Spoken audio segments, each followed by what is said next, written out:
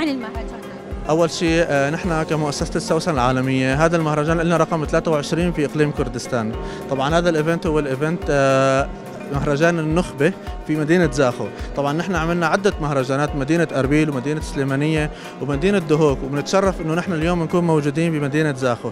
طبعا نحن كان لابد أنه نكون مدينة زاخو. كونه مدينة زاخو عم تشهد نهضة عمرانية وعم تشهد بنفس الوقت حركة تجارية وتطورية واستثمارية وعم تعكس صورة حلوة. طبعا نحن كمؤسسة السوسن العالمية بنتشرف أن نعمل هذا المهرجان. هالمرة بعد النجاح حفلة الدهوك آه، حبينا نعمل بمدينة الزاخو الجميلة.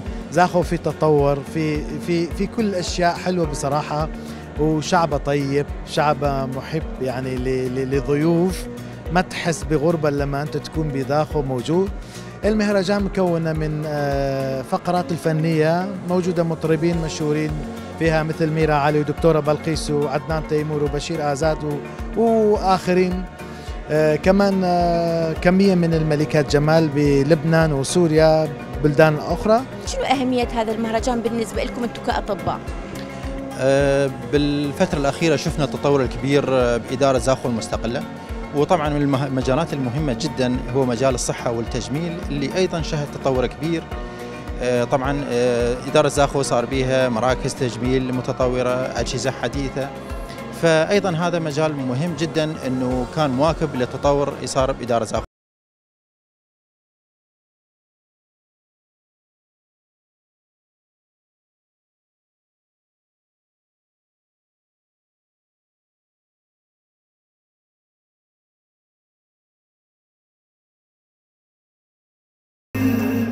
إيش قد مهم أنت مشاركتك بهذا المهرجان الأول في مدينه مثل ما قلت لك أنا بصراحة أول شيء شرفني إني أكون موجود اليوم بالزاخو مع الفنانين والحاضرين اللي موجودين.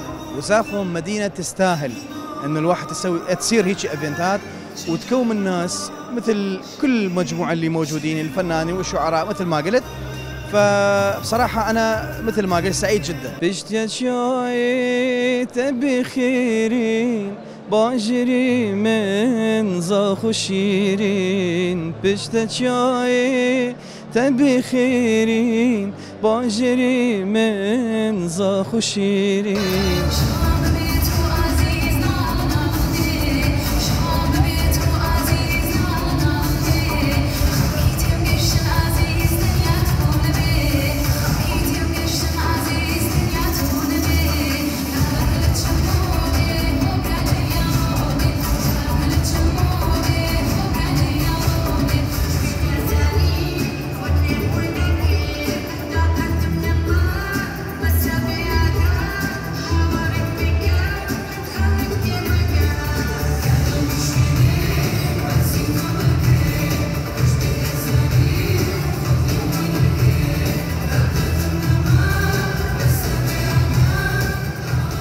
مرة مهرجان حلو وهيك ضخامة يصير بزاخو. آه، طبعا هذا دافع يصير لنا آه، دافع للتجار دافع اللي عندهم مثلا صناعات جديدة المشاركاتهم الجديده يصير دافع لنا كمحافظة ويصير هيك مهرجان حلو يمنا. هدف إقامة هيك مهرجانات خصوصا بمدينه زاخو والله شوفي هو هيك مهرجانات من تقيم يعني أبسط شيء يصير أفكار جديدة. يعني واحد يتعرف على الثاني يصير أفكار جديدة تنمية وعي ثقافة أزيد. الناس تتعرف على بعض تعرف تاخذ خبرة واحد من الثاني ياخذ خبرة. مرحبا دكتور. مرحبا أهلا وسهلا. شنو رأيك بهذا المهرجان؟ آه طبعا اليوم إحنا نشارك بمهرجان النخبة اللي تقوم مؤسسه السوسنه العالمية لأول مرة في مدينة زاخو الحبيبه آه تم استدعائها اليوم هذا المؤتمر أو ال festival آه على مود أكرم مجموعة من أطباء النخبة. والشخصيات المشهورة والمتميزة بمدينة زاخو الحبيبة. آه، طبعا أول مرة أشارك بمدينة زاخو. آه، أنا قبل 15 سنة جيت هنا وهي ثاني زيارة إلي لمدينة زاخو. حسيت بفرق هواية بالبناء والإعمار والتطور العمراني لمدينة زاخو.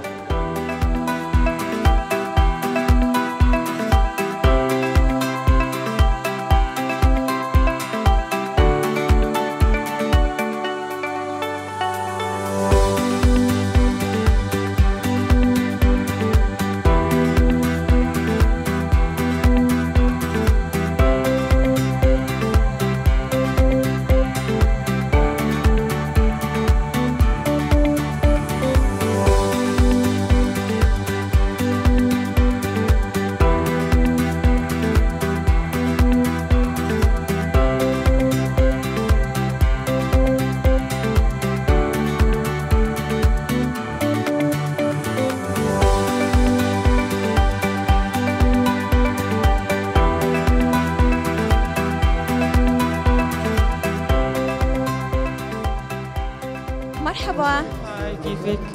آه، شنو أهمية مشاركتك بهذا المهرجان؟ آه أنا مس جلوب أوف ليبانون 2023 وحبيت شارك هون برئاسة آه، مع شركة سوسن العالمية وجيت على هذا البلد وحبيته كثير والشعب هون كثير بعقد وكثير مهضوم وتمام وأنا أنا بصراحة صار لي أربع سنين بكردستان عامة ولا يوم حسيت إنه أنا بغربة هون وأنا كان هيدي أول مرة بيجي لهون على زاخو وللصراحة كثير حبيتها وهي منطقة سياحية واللي عرفت إنه هي تقريبا مثل بوابه للتجارة للعراق ككل. ونحن كملكات الجمال اليوم آه، موجودين هنا طبعا هذا شيء كلش كلش مهم وكان آه، يعني يوم آه، كلش كلش مهم بالنسبة لنا كملكات الجمال.